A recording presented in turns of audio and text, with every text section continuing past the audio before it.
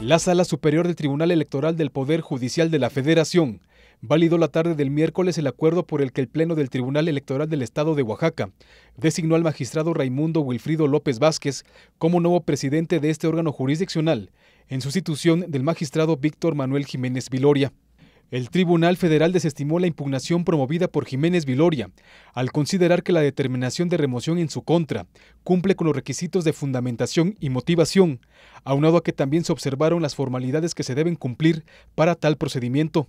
De esa forma, los magistrados declararon infundados los motivos de inconformidad presentados por el demandante.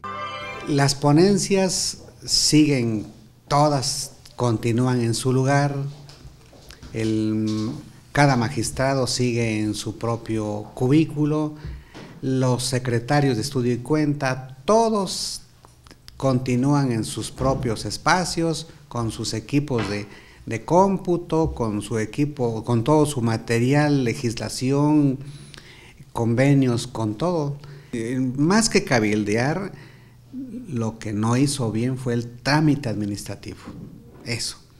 Y la misma, y la misma, este, Secretaría de Finanzas en varias ocasiones le requirió a él que la documentación se la presentara con todos los requisitos que debería tener una solicitud de, de recursos, pues.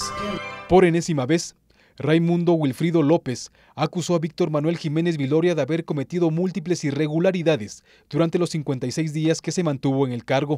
Nunca presentó adecuadamente su programa operativo anual, nunca el programa operativo anual que es el famoso POA este no cubría los requisitos, elementos que le exigían los lineamientos del secretario de Finanzas, jamás pasó la nómina jamás fue elaborada y no, se no le fue presentada a la Secretaría de Finanzas. Un tabulador tampoco le fue presentado a la Secretaría de Finanzas. no, no, no, no, no, no, no. No, eso lo interpretaron, pues a lo mejor alguien que desconoce el interior del tribunal. Aquí hubieron, hubo una causa, una causa que fue la negligencia, la incapacidad, la prepotencia, el autoritarismo de este señor. La destitución de Jiménez Viloria se suscitó horas después de que anunciara que interpondría un recurso de controversia constitucional contra el gobierno de Oaxaca por incumplir con entrega de las administraciones mensuales que le corresponden al Tribunal Estatal. Pese a ello, Wilfrido López afirmó que la destitución no se dio por órdenes del Poder Ejecutivo Estatal. Con imágenes de Juan Carlos Chiñas, informó para MBM Televisión Álvaro Morales.